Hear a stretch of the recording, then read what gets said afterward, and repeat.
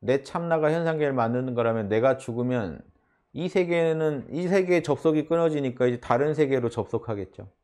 참나는 영원합니다. 그리고 보세요. 참나가 영원하고 참나는 우리 안에서 또 어, 그 끝없이 이렇게 게임을 진행하는데 그 게임이 이런 육체적인 물질적인 육체에 기반한 세계가 아니고 꿈과 같은 영적인 세계로 또 펼쳐지겠죠.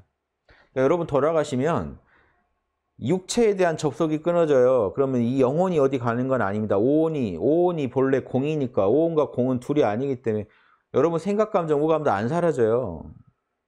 그럼 그게 뭘 만들어낼까요? 이제 돌아가시면 정신이 딱 철수되면 참나로 자 어떤 세계가 펼쳐질까요? 여러분이 경험하는 꿈의 세계. 꿈은 꿈은 우리 육신 없이 여러분 빛도 보고 남도 만나고 다 돌아다니고 했잖아요. 팔다리 가지고. 저는 꿈속에 돌아다니면서 땅도 두들겨 보고 다녀요. 땅처럼 진짜로 진동합니다. 질감도 다 있어요. 우리 꿈, 꿈, 꿈속의 세계도 경험해 보면 그렇습니다. 그런 마음의 세계가 또 펼쳐질 겁니다. 공부하다 보면 그냥 그렇게 알아지는 게 있어요. 체험해 보시면서 연구하다 보면. 전 꿈속에서도 실험하고 다녀요. 꿈에 있는 거 만져보고. 물, 물 손에 질감 느껴보고.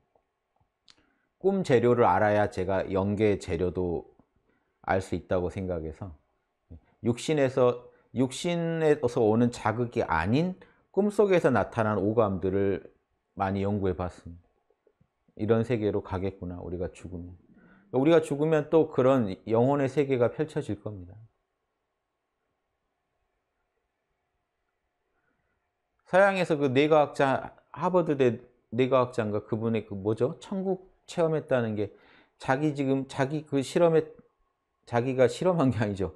진짜 이 뇌가 뇌가 이제 일이 터져가지고 자기 뇌에서 꿈도 꿀 수 없는 상태였는데 자기는 신성을 체험하고 그 안에서 아주 경치 좋은 데서 이렇게 경험했다는 거 아니에요.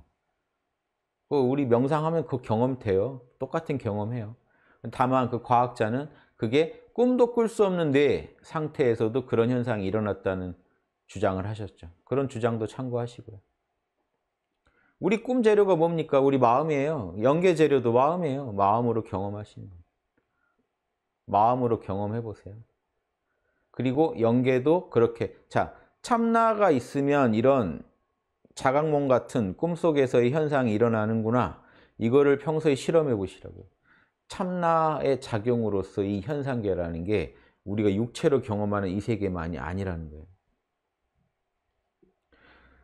지금 여기보다 여기 명, 명상을 하시다가 명상을 하시다가 명상을 하시다가 깨어나면요 꿈이요 화소가 여기보다 더 높은 경우도 있어요 화소가.